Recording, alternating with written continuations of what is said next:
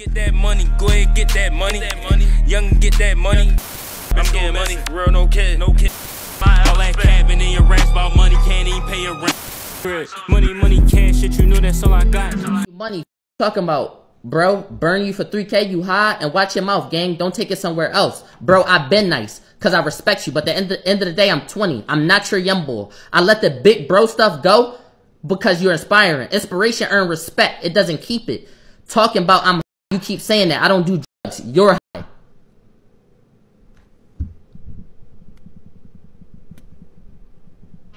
I came in this with racks on me and a diamond chain. My left pocket all blue, look like the night Nightcrawler. It's that rubber band of money. Yeah, this that ice music. that ice. I saw my son birth certificate with all dollar signs. I've been nice. I've been nice. I've been nice. I'm not your young boy. Inspiration earns respect. It doesn't keep it.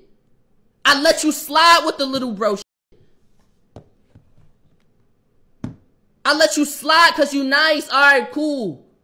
Alright, you yeah, you nice. Alright, yeah. You can slide with the little bro shit. I don't mind it. You nice. Bro, you owe me money right now. You not no big homie. Big homies look out for their young boys, not burn them. You a clown. So as you guys probably heard by now, Philly comedian, YouTuber, vlogger, Raud Geez has accused up and coming Philly rapper OT7 Quanny of scamming him. Scam is a very strong word in this context, but let's get into what happened and we'll make that judgment at the end. So Philly comedian and YouTuber Raud Geez is accusing one of the biggest up and coming artists of the city of scamming him out of $3,500, as I just said. I want to go over the accusations being made by Raud, the response by Quanny. There are a lot of things being said and they're scattered all over the internet. So I gathered as much info as I could so you have it all here in one place. So Raud or Raud Geez, his YouTube channel is called She Loves Me Raud or She Loves Raud, excuse me. Raud rocketed to viral success with his first day in Philly sketches. Uh, first day in Philly, somebody walked up to me and said, Young boy, take that tight ass hoodie off. And they told me that my forces was dick. I don't really know what that mean, but I'm gonna try to get a new hoodie. It's kind of cool down here. Uh, second day in Philly, he told me to grab a Doc's hat, and he made me grab a Tech, so it looked pretty nice. But uh, we was at the mall, and he told some girl that she looked sturdy, and I was like, she don't look firm, and he was like, young boy, you fuck money up, and I really didn't know what to do. I didn't know that I was like messing up his money. Uh, third day in Philly, some boys jumped me and my friends and took my hoodie, but he said it's cool because he about to strap up. But yeah, we about to slide on some Johns today, so. Fourth day in Philly, man, I got my hoodie back. We cut that bitch ass nigga apart, and I took his ski mask, telling him come get it back. But yo, I'm about to go. Uh, you wanna grab a fresh cut? We about to go grab a fresh cut, man. I'm gonna see y'all nigga. Quanny, who needs no introduction. But for the unfamiliar, Quanny is an up and coming rapper from North Philly. He recently performed at Rolling Loud, California. He has sold out small venues throughout the Northeast of the United States, and he's pretty popular in Philly and the surrounding area. So now that we got that out the way, let's go over the claims made by Raud Geez.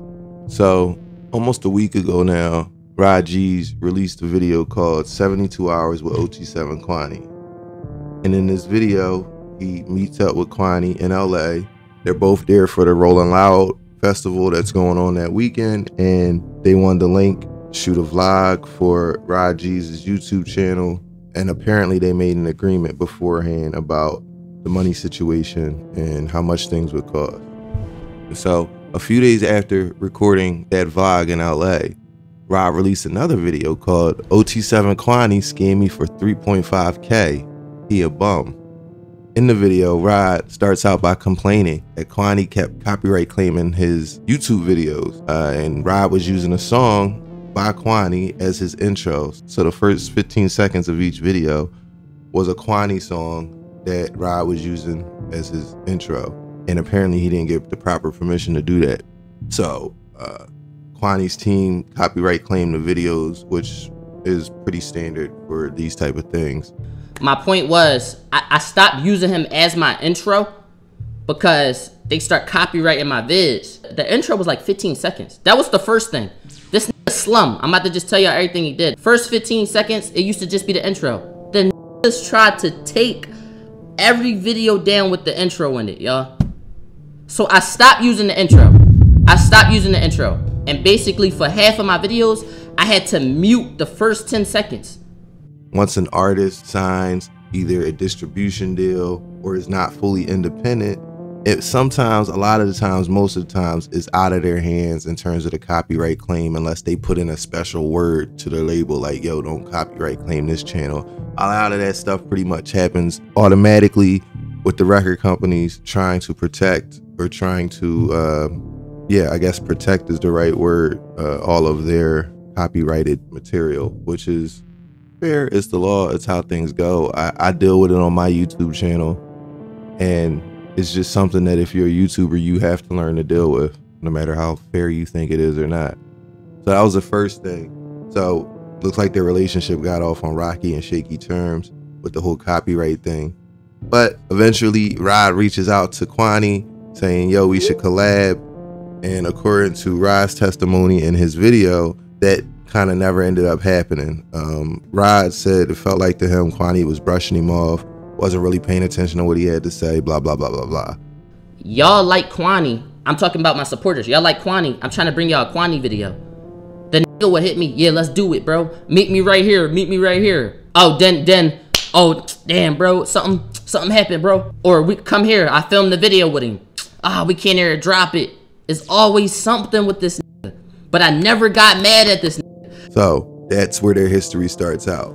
So fast forward to last month, and Rolling Loud is happening in LA. Uh, Quanny was invited to perform, and Raud incidentally was invited by Chief Keef to accompany Chief Keef for the event. Uh, I don't know if he even ended up with Chief Keef. I don't know how that uh, happened uh, in terms of like Raud's uh, weekend when he got there, because I know he ended up doing a lot of stuff with Quanny, which we're going to get into in this video. I'm coming to LA to do the show with Chief Keef.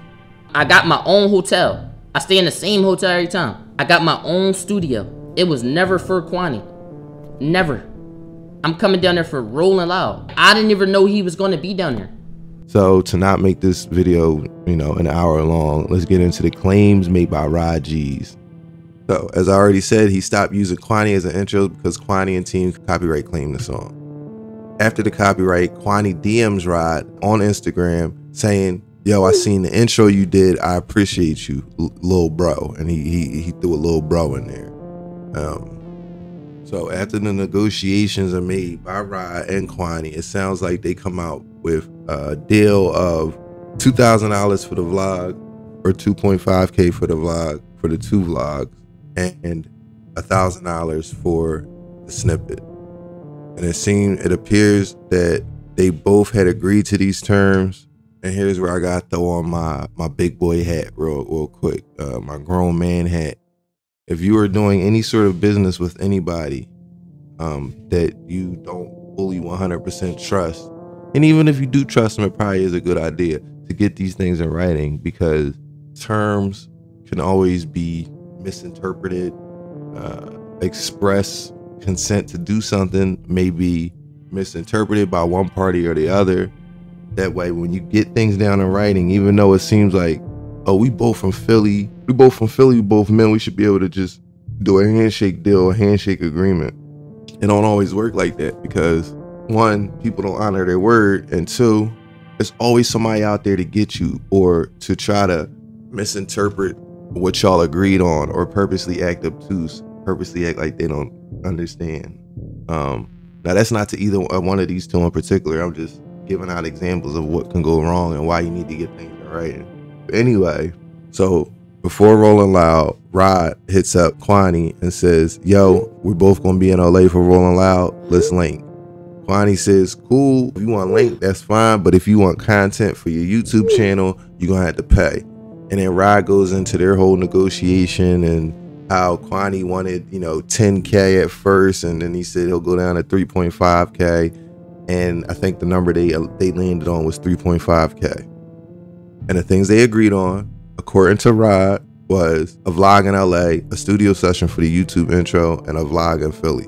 Those are the three things. Quanny says, "Yo, bro, if you want to really lock into the video, if you want to do it, um, you gotta pay." I'm like, Should I pay for this video? I'm not just playing for the video though. The this amount of money I'ma pay you. You got to do the stream as well. You got to do the stream, and since they took my intro away, we got to do something in the stew. We got to make a new intro. You feel me? So I'm like, you do that, I give you this amount of money. I'm gonna tell you how much he asked for. You feel me? No, look though. I said, all right, I'll pay you, but we just gonna do this.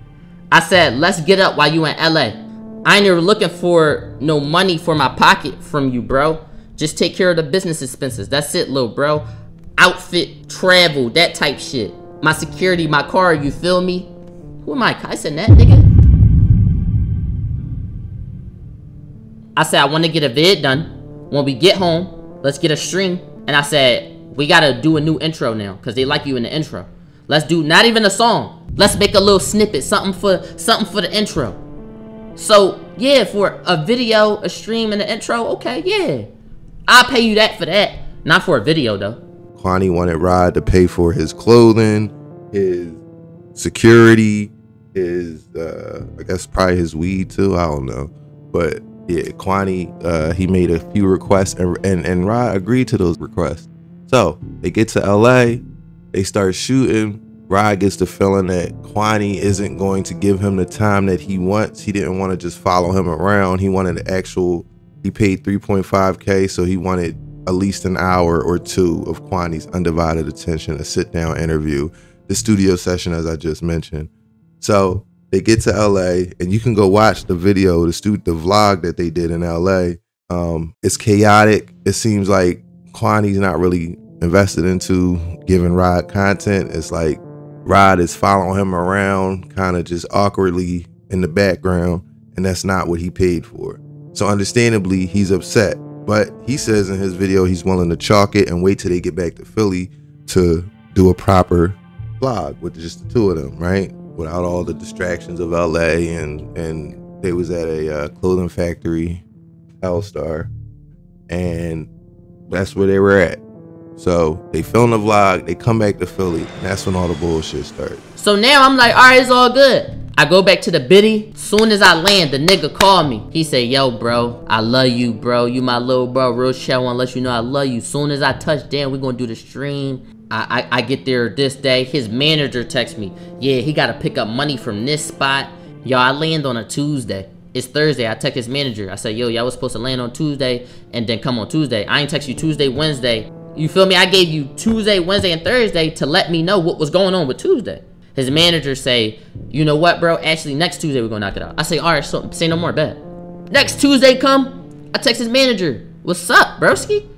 Nobody texts back. Quanny tells Raud that he'll hit him when he lands. A couple days go by, a few weeks go by. Raud doesn't hear from him, hits him up, yo, what's up? Then all the bullshit starts. Two days later, I said, send me 1500 back then, broski. I didn't pay that just for a video. He texted me back an hour later. I just ended stream at 6 a.m. He said, bro, I'm sending you everything back. Don't drop nothing. You want some weird shit, bro. It's 6 a.m. It's Ramadan. I got a life. You bugging, bro. It's been two weeks while he got my money. Now it's Ramadan, bro. I got a life. This, that, and the third. You're not gaslighting me. Do your stream or send me my fucking money back. I got a family, nigga. I got days to relax. you think you is, bro? You high? Stop texting me. I said, bro, you a weirdo because you ain't hit me. He said, you tripped out, bro. I'm done talking. I said, cool, bro. Make sure I get my money back. I was texting you for four days. He said, left you for four days? I said, yes, I hit you. He said, what the f is you talk about? I said, just let me know the new date. That's it. You tweaking for nothing. He said, bro, I just fucking told you it's Ramadan. I got a family to get to. I said, send my money back. He said, my duty is not your video as soon as I as soon as I get back, stop texting me. I said, send my money back. He said, you're getting your money back. Stop texting me, bro. Simple. I said, all right, bro. They get into a back and forth about the way they're talking to each other. The way Raud was talking to, Quanny. Quanny got mad because, you know, he was saying it's Ramadan, he's Muslim. You know, why are you calling me at 6 a.m.? And it just turned sour. Now, my personal opinion is that we got two big undeserved egos, right? These are two people who two years ago was broke as shit. A year ago, probably didn't have much money. But all of a sudden, they both get a couple of dollars and the egos are just off the chart. Collabing and linking with somebody is not difficult. Only two Philly niggas could fuck this up. I'm sorry, I hate to be critical, But we gotta learn how to do business here in the city of Philadelphia. Be official. Stop trying to play off, oh, you my mans, and oh, you know, we both from Philly, so ain't nobody gonna try to jerk each other. No Diddy, you mean? Pause. But ain't nobody gonna try fuck each other over. Ain't nobody gonna try do no shady shit. We both from Philly. It's all love. I'm a fan of your content. I'm a fan of your music. That's the tip. That's the vibe they was going off of. But nah, um, I'm just gonna say this now. OT7 Quanny has songs out talking about how he's a scammer, how you know he likes cash money. That's all he knows. And for somebody who obviously doesn't have a job, there's only a few ways you can get that much cash money, and that's all you know. You either doing something illegal or you inherited a bunch of money. I don't know. Y'all make the y'all make the guess there. But point is, you gotta know the type of people you dealing with. And for Raud, who seems like a a pretty chill, upstanding young man, he I don't feel like he we would have any reason to lie here because lying only is going to damage him. Quanny's by far the bigger like uh star here, if you want to put it that way. Quanny's by big by far the biggest star. So for Raud to lie, that actually would damage his relationships, damage his uh, connections, and Quanny obviously will never work with him again. But the truth is the truth, and Raud wanted to put his truth out. And unfortunately, the response to Raud that Quanny has been given has been suboptimal to say the least. Uh, it's been a bunch of showing off his car, showing off his money. I just bought a Maybach. Now y'all need to start paying attention to my song. That's the type stuff he says. So at the end of the day, that's kind of a fucked up situation. But you know, you live and you learn. Hopefully for Raud, this will be a lesson to when you're doing business with with Philly artists. Uh, you definitely get shit in writing. You make the terms clear, concise. But yeah, man, that's the situation. Yeah, let me know what you think in the comments. This this situation is obviously fluid. It's moving. It's not finished. So pay attention. If there's any updates, of course, I'll be the first to let you know. Thank you for watching American Confidential, and until next time, be safe.